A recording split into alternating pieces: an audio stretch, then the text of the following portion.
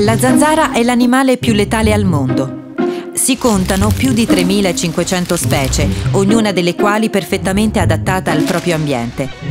Dalla savana africana alla tundra artica, pochi sono i luoghi nei quali una zanzara non può vivere. La zanzara femmina depone le uova in uno specchio d'acqua.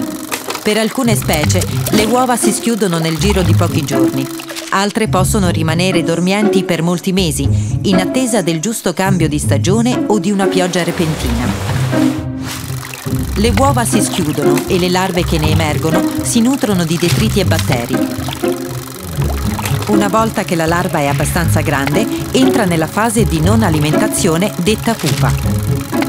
A differenza di altre specie di insetti, la pupa rimane molto attiva in acqua per evitare l'attenzione dei predatori durante la sua trasformazione.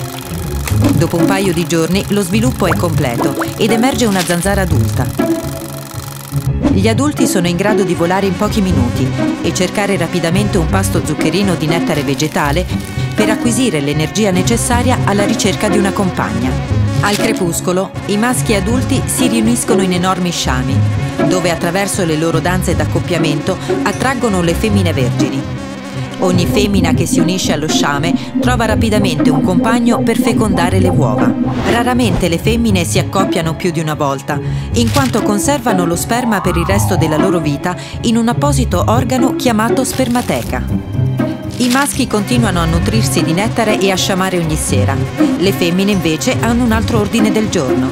A differenza dei maschi, le femmine vanno in cerca di sangue, una fonte essenziale di energia per la produzione di uova. Questo comportamento è stato sfruttato da parassiti, virus e batteri come veicolo di trasmissione da persona a persona. Delle oltre 3.500 specie di zanzare, solo 4 sono responsabili di più del 95% della trasmissione della malaria in Africa. Queste specie si sono adattate al clima tropicale e si nutrono per la maggior parte di sangue umano.